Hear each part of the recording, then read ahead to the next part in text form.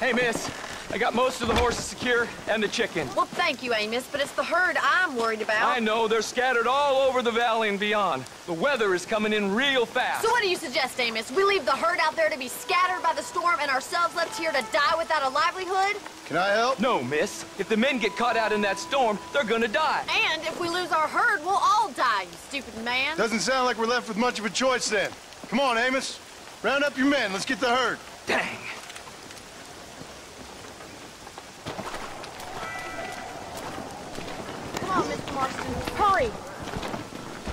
Come on.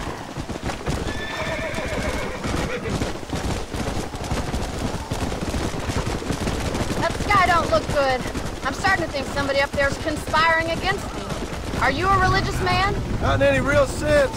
Sometimes I tell myself things happen for a reason. Like what brought me here was fate come a-calling. But nobody made my path for me. We all need to look for answers somewhere.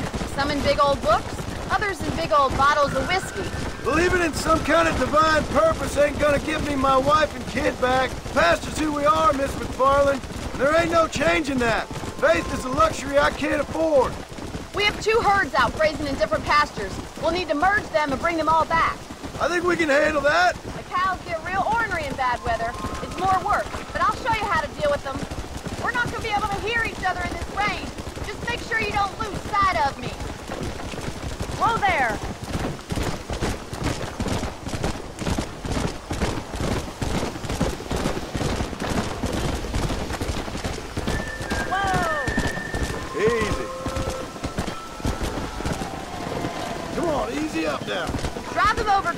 By the old oak tree. We'll merge them with the other herd there.